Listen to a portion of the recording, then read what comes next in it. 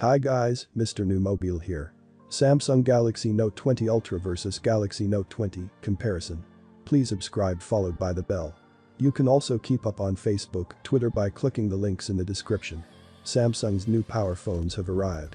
The Galaxy Note 20 and Note 20 Ultra, which start at $1,000, £849 and $1,300, £1,179, respectively, were unveiled earlier this month alongside three other devices in a glitzy unpacked launch that was moved online due to the coronavirus pandemic.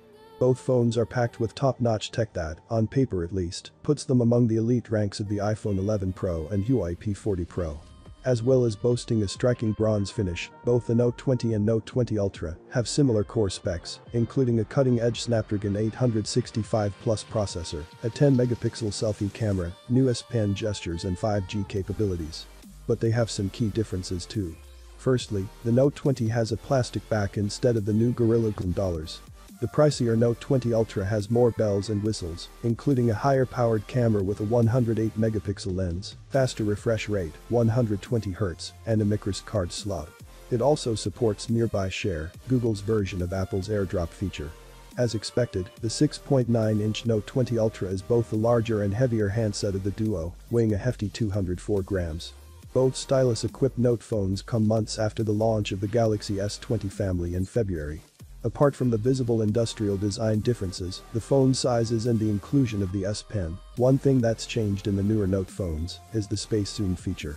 Samsung's decided to backpedal on the S20 Ultra's hyped up 100x zoom. The Note 20 and the Note 20 Ultra, instead of reduced space zoom capabilities of 30x and 50x respectively. The company likely made this design decision to help drive down the price.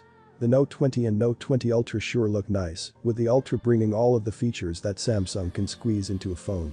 Improved S Pen performance Super AMOLED 120Hz display. Both phones have impressive camera setups, Android 10, 5G connectivity and new S Pen gestures for remotely controlling your phone. The Galaxy Note 20 Ultra has a 6.9-inch Super AMOLED display with a 120Hz refresh rate, microSD card support and 12GB of memory. The price depends on which of the two storage options you choose. 128GB. $1,299, 512GB. $1,449. As I said earlier. Samsung's Note 20 and Note 20 Ultra are stuffed with awesome tech that puts these phones squarely in the elite category, alongside the Galaxy S20 Plus and iPhone 11 Pro. With 5G connectivity, huge screens and the S Pen stylus, both phones are well equipped for office life. It has a standard camera look great, with plenty of detail, and a great balance of exposure between the bright and dark areas. Colors can look a bit oversaturated on occasion, something we've found to be the case on most recent Samsung phones. Well both phones. The biggest upgrade is in the resolution of the main camera, which tops out at 108 megapixels on the Ultra for improved zoom, which I'll come to shortly. The regular Note's main camera has a 12 megapixel resolution shooting at full 108 megapixels on the Note 20 Ultra, produces huge 12000 x 9000 pixel image files, roughly 26 MB instead of around 3 to 4 MB 4000 x 3000 pixel images in the normal mode. It allows you to crop in much further to your image, but in my experience so far, there's not a huge amount of actual image detail, even at such a high resolution.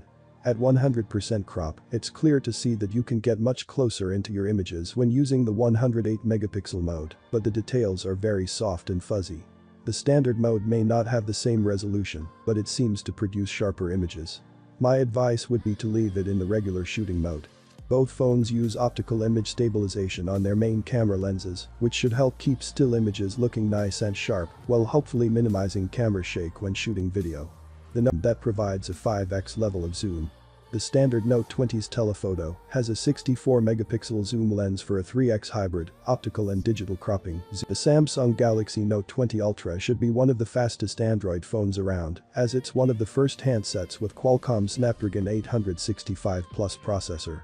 This chipset boosts the clock speed by 10% up to 3.1 GHz, and the graphics is also 10% faster than the regular Snapdragon 865 chip inside the Galaxy S20. Equipped with a fairly large 4500 mAh battery, the Galaxy Note 20 Ultra should be able to last you through most of the day. We're most curious to see how well this phone lasts on our battery life test, given the dynamic nature of the phone's 120Hz display. With the 120Hz mode on, we saw a dramatic decrease in endurance on the Galaxy S20 Ultra, with the phone running out of power 3 hours faster than when we kept the display at a 60Hz refresh rate. To juice back up, the Galaxy Note 20 Ultra includes a 25 watts fast charger that should get you back to 50% capacity in 30 minutes.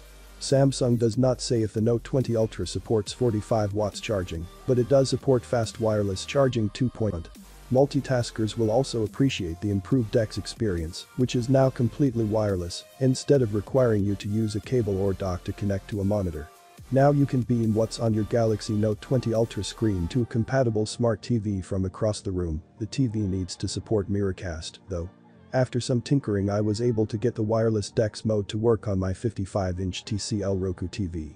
After connecting to the TV I could use the Note 20 Ultra screen as a touchpad to move the cursor around the display.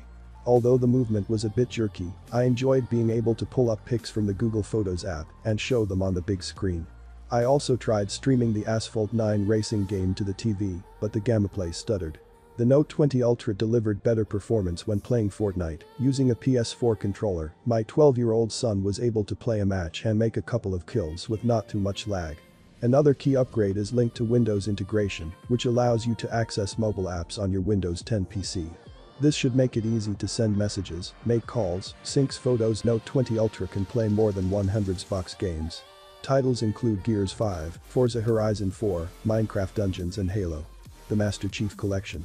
Xbox Game Pass costs $15 a month, but when you pair the Note 20 Ultra with a game controller, it could feel like a mini console. And if you don't, the Note 20 Ultra benefits from a 240Hz touch latency that the regular Note 20 doesn't have. The fun gets underway September 15 when the service kicks off, so we'll report back with impressions when we can. It's clear based on the features and specs that the Galaxy Note 20 Ultra is a superior phone to the Galaxy Note 20. But is the more expensive phablet right for you? For my money, I would prefer this phone's bigger and smoother 120Hz display, more powerful zoom, better autofocus for the camera, and more responsive S Pen. But I need to live with the phone a bit more to tell you whether it's worth such a high sticker price. If you don't want a stylus, the Samsung Galaxy S20 Ultra or Galaxy S20 Plus are both very good alternatives to Samsung's Galaxy Note series, as is the cheaper one on impressions on the Note 20 Ultra and an ultimate verdict. But right now I would say there's reason to be excited if you're a Galaxy Note fan. Well having said, please subscribe, like the video, comment thanks for watching.